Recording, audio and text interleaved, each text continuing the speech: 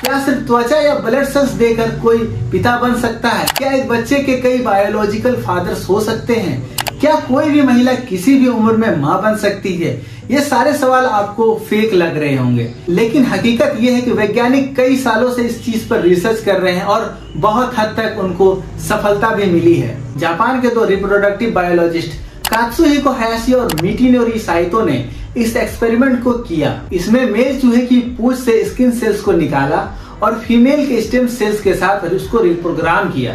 Stem cells को एक sales में बदलकर फर्टिलाइज किया, फिर इसे फीमेल चूहे के गर्भाशय में ट्रांसफ़र किया। इससे 10 बच्चे पैदा हुए। इस टेक्निक को आईवीजी कहते हैं इन विट्रो गैमेटोजेनेसिस कहते हैं। यह इन विट्रो फर्टिलाइजेशन यानी कि आईवीएफ से भी बहुत ज़्यादा एडवांस है। आईवीएफ में महिला के अंडे और पुरुष के शुक्राणु का मिलन शरीर से बाहर लैब में कराया जाता है। फिर भ्रूण को गर्भाशय में ट्रांसफ़र किया जाता है। अगर आईवीजी में अंडे और शुक्राणु की ज़रूरत नहीं, बल्कि नन रिप्रोडक्टिव सेल्स से भी शरीर के बाहर अंडे और शुक्राणु बनाए जा सकते हैं। हालाँकि अभी यह रिसर्च के स्तर पर है। इसे मंजूरी मिलने में टेक्निकल सेफ्टी एथिकल सेफ्टी और कानूनी पेचीदगियाँ भी आएँगी। अगर आईवीजी सक्सेस हो जाता है ना दोस्तों तो इससे हम लोग बहुत सारे ऐसे प्रजाति है जो इस दुनिया से अब खत्म हो रहे हैं, उसको हम लोग फिर से बढ़ा सकेंगे। बाकी दोस्तों, आपका इसके ऊपर क्या कहना है कमेंट में ज़रूर बताएँ। वीडियो पसंद आए तो लाइक शेयर और सब्सक्राइब भी ज़रूर कर दें